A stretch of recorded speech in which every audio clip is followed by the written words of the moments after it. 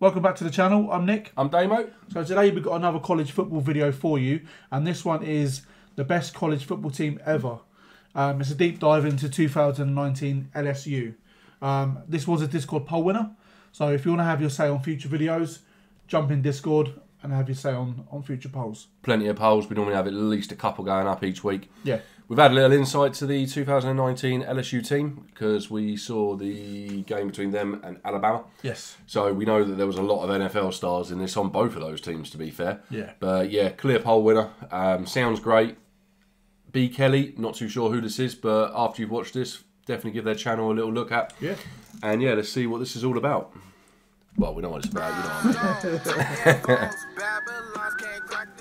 A couple weeks ago, I made a YouTube video Valley. where I talked about the 2020 LSU football team and what's happening to them this season.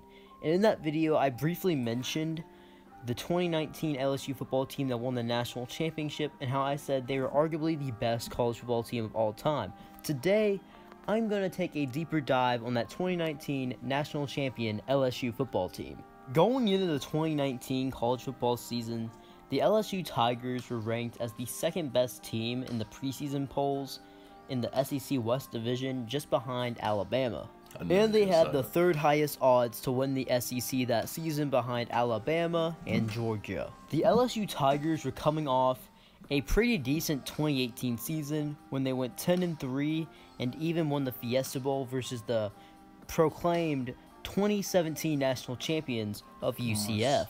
LSU was seen as a pretty good football team, but nobody really expected them to win the SEC really that much or even be in the college football playoff at that. If you would ask people going into the 2019 college football season who they thought would be in the SEC championship game, it was a pretty clear cut answer between Alabama and Georgia. But despite all these projections where people had Alabama and Georgia in the SEC championship game, and even some instances where they were both in the college football playoff, LSU would make. And even some instances where they were both. Is that the is that Justin Jefferson? I don't know. I don't know. Is it because the helmet's blocking him? Yeah, yeah. yeah. when I saw his face, I know it was him. Yeah. Is that Justin Jefferson? He might take us through this. To be fair, it's quite early on, but yeah, that's the first name. I've been keeping an eye on the names because I've been thinking there's a lot of NFL stars that came out of this. Yeah, yeah. But yeah, he had a great season in the both NFL in the last college season. football playoff, LSU would make sure to shut the critics up, which they did. I mean, they went 15 and 0. They won the SEC. Wow. They won the national Crazy. championship. They had the best offense in all of college football, averaging 48 points a game. And they only gave up 21.9 points a game with the 32nd best defense in all of college football, which is pretty good. It seemed like every game LSU played in the 2019 college football season, they were just unstoppable and no one could stop them at all. They were just that dominant overall. And it definitely showed in the college football playoff when they won their first game 63 to 28 over a very good Oklahoma Wow. team. Even though they had some injuries and suspended players, 63 to 28, there's no excuse for that. Even based on those numbers he gave, doesn't exactly seem like the strongest defence. I would say, but they'll just outscore you. Almost reminds me of Liverpool about a decade ago. You know, like no defence, but we'll just outscore you. And it seems like that's what this is very much about. Because yeah, those scoring numbers are insane. Then they go into the national championship game and beat Clemson convincingly 42 to 25. Right after this season, people would call this LSU football team one of the best college football teams of all time, and even some saying it was the best. But how stacked was this LSU football team? First off, this LSU football team tied an NFL draft record in the 2020 NFL draft when they had 14 players selected from the national championship team. Not only Wow. that, there'd be six undrafted free agents that'd be picked up right after the draft. This LSU football team That's had a total of five players drafted in the first round Joe Burrow, K'Lavon Chaisson, Justin Jefferson, Patrick Queen, and Clyde Justin Edwards Jefferson. Helaire. The other players selected outside the first round are Grant Delpit, Kristian Fulton, Damien Lewis, Lloyd Cushenberry, Jacob Phillips, Saahdiq Charles, Rashard Lawrence, Blake Ferguson, and Stephen Sullivan. Although that they tied the record for the most people getting drafted by a team in the NFL draft, it wasn't just that for LSU. They were also breaking records during the college football season, and it seemed like they were winning every award with their team. Joe What's that dance they're doing? What dance? see- I don't know. Like this, it's not training, is it? Oh, I don't know. What, I don't know. Ah, oh, I'm it keeps on coming in the clips. is. What what is that? Is that like? I'm guessing it's an LSU tradition of some sort. It's where everyone's like, "No, they're warming up, you idiot." during the college football season, thing. and it seemed like they were winning every award with their team. Joe Burrow had an amazing 2019 college football season. This dude was absolutely unstoppable, and he was the best player in all of college football. And it seemed like he won literally every award that he was eligible to win. And it definitely Gosh, shows if you watched him play and if you look at his stats. For the 2019 college football season, he completed 76% of his passes, throwing for 5,671 yards with 60 touchdowns and only 6 interceptions. And the Wow, awards he won was the. Heisman That is Trophy. Johnny Unitas Golden Arm Award, AP National Player of the Year, Walter Camp Award, Davy O'Brien Award, Maxwell Award, and the Manning Award. Ja'Marr Chase. Wow. He led the LSU t- Can you look up the NFL 2020 draft? I want to see if Joe Burrow, based on that, was the number one pick. Because obviously quarterbacks normally high up on the agenda. Yeah, I think he would have been. So you think 20? Yeah, I was hoping he was going to tell us.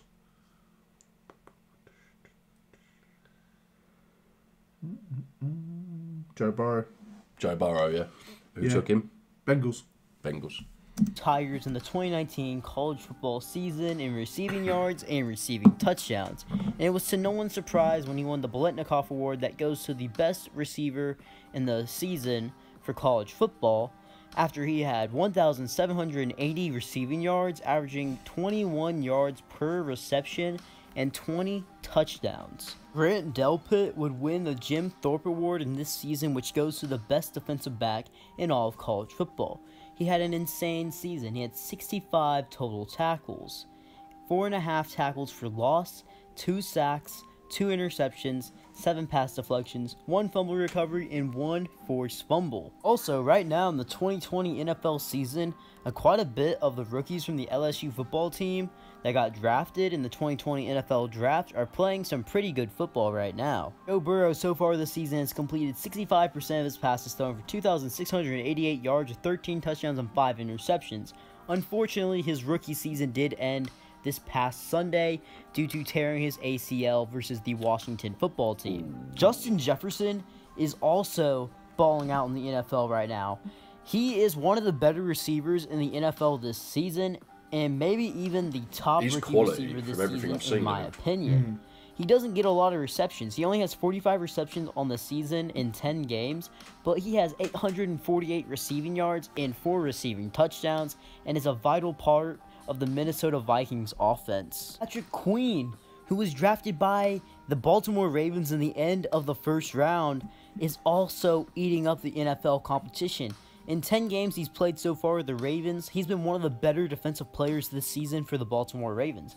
He has 70 total tackles, 2 sacks, 2 fumble recoveries, 2 forced fumbles, and he has one pass deflection as well. Kristian Fulton with the Tennessee Titans is playing pretty well as well with 15 total tackles, 1 sack, one interception and one pass deflection. Now, not all the LSU Tigers that were selected in the 2020 NFL draft are just destroying the NFL competition, just like the few that are playing pretty well right now, because not all rookies play good immediately in the NFL, and that is just known. But I would say a lot of the LSU Tigers that are currently rookies in the NFL for the 2020 college football season are living up to their expectations or even exceeding them. I don't know about you all, but I definitely think this 2019 LSU Tigers college football team was definitely one of the best college football teams of all time. And That maybe well even be the best team. But I'm not going to give them the best college football team ever label. Some might, I'm not because I didn't see all the other college football teams play. Oh, it's a night What? game as well, isn't it? That's the outside. That's a really bad Yeah. pause. you Oh, can see yeah, it better yeah. there. Yeah, Yeah, it's a night game. That's quality. Nice. Well, some might, I'm not because I didn't see all the other It's college where the football doors teams open. play. It's midday. But I do think 10 years Sounds down the line, there may be a clear, concise decision on if this was the best college football team ever. I mean, look at the roster and look what happened in the 2019 college football season. They had so many stars, they broke so many records, and they just seemed like they were killing everyone they played. And the thing is, this is probably the best LSU That's Tigers cheating. football Yeah. team in school's history.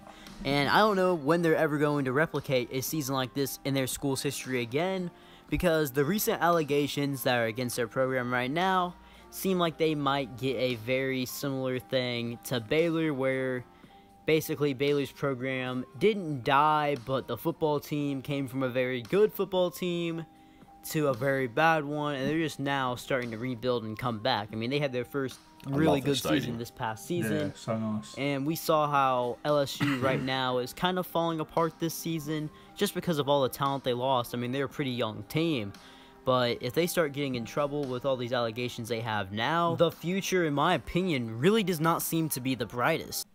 I feel like he just dropped a bombshell at the end there. Yeah, I was going to ask what- what, were, what were the allegations? allegations? No, I don't know, mate. I ain't got a clue. No, I'm asking them, mate. No, that was great. I mean, yeah, you can't. I mean, I only recognise a few of the stars, unfortunately, because we haven't done our first season yet. First season is coming up. We are buzzing Yeah, I can't wait. for that. But yeah, definitely. I mean, Justin Jefferson, the main one for me. I've seen quite a bit of him from Yeah. last season, and I mean, he was just catching everything. Yeah. Not everything, 'cause that'd that'd be mad, wouldn't it? But yeah, no, he, he was brilliant. He Yeah, was really, really good. Really, really good for the Vikings. To have that many players drafted speaks speaks for itself. Yeah, definitely. Yeah, no, Crazy. those stats from Joe Burrow, crazy. Yeah. What Absolutely season. crazy. What season. But um, but no, really really enjoyable watch, interesting watch. Learned, feel like I picked up quite a lot from that. And yeah, as with LSU, I just love any LSU fans watching. Love your stadium, Yeah. It's an amazing absolutely stadium. love it. But yeah, thank you very much for I say suggesting that it smashed the poll. So yeah, if you weren't really into that too much, get yourself on Discord, as Nick said earlier on. Get involved with those polls. Have your say. Thank you very much for watching. We really appreciate you being with us for this one. Please do like, subscribe, and share, and we'll see you on the next one. Have a good one.